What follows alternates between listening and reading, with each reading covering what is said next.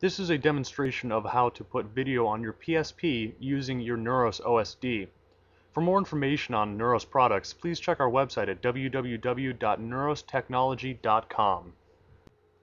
We begin with the Neuros OSD on and with the source material playing in the background.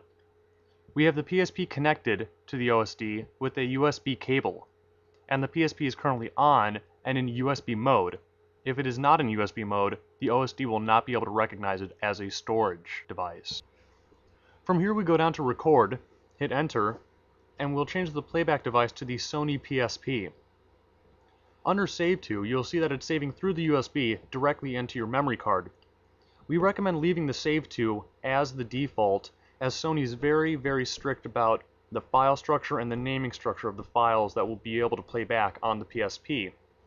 The alternate way to put content onto your PSP is to change the save to to a memory device like a MS Pro card, and then transfer it to your computer, and from there to your PSP. For this demonstration, we will leave the save to as the USB, because we'll be recording directly to the PSP. Under file name, as I said before, Sony is very strict about their naming, so leave the file default as is, and if you are going to make multiple files, which most people will, change the 1 at the end of the name to a 2 or a 3 and increase the number, but leave the structure intact. Then choose the quality you want to go with depending on the size of the card you have. We'll leave record length off and go down to start and hit enter. You'll see the OSD screen disappear and your recording will begin.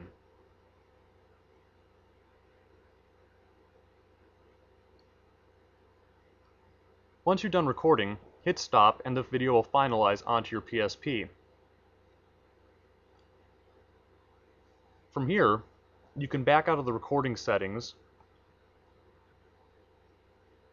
go up to Play Browse,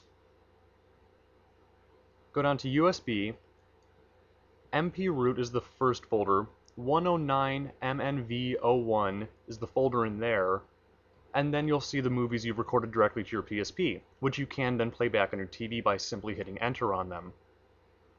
So right now the video that's being displayed is being played off of the memory stick on your PSP through your TV, so your content is not only on your PSP, but can also be played back on a OSD. To play back content on your PSP, simply hit X on the video heading and you will see your videos listed.